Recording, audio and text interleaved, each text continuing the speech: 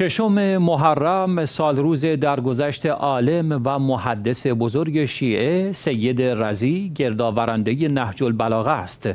که به سال 406 هجری قمری چشم از جهان فرو بست ابوالحسن محمد بن حسین ابن موسای موسوی بغدادی معروف به سید رزی از علمای بزرگ شیعه در سال 359 هجری قمری در شهر بغداد متولد شد. سید رزی برادر کوچکتر سید مرتزا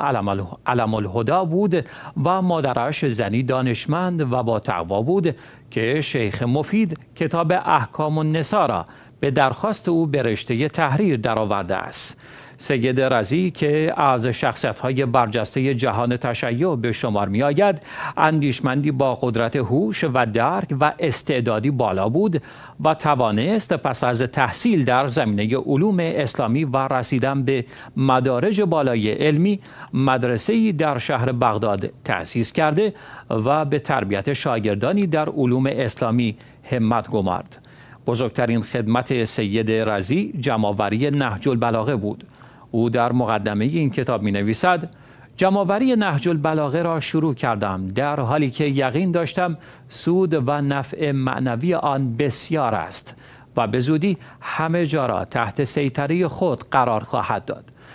نهج البلاغه شامل سخنان، کلمات و نامه های گوهربار امیر المؤمنین علیه السلام است که در موقعیت های گوناگون بیان فرموده یا برای افراد مختلف نوشتهاند.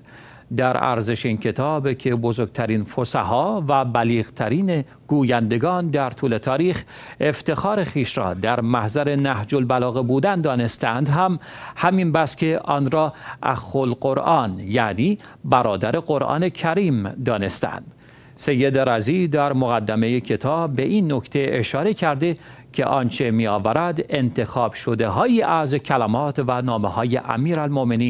علیه السلام است سید رزی در حالی که کمتر از پنجاه سال داشته از دنیا می رود.